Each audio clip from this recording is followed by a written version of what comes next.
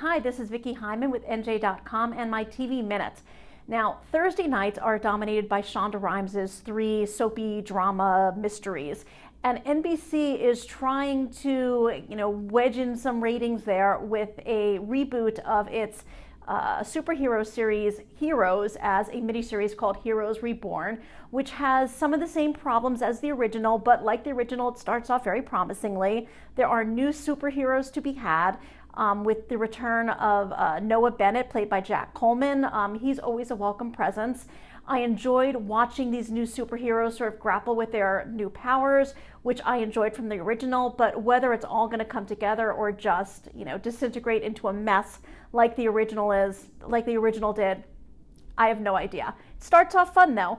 Um, it's followed by the Wesley Snipes vehicle, The Player, which is a overly complicated, very convoluted mystery thriller that I actually enjoyed despite myself. So maybe you'll check that out too. Probably you're going to end up watching ABC though.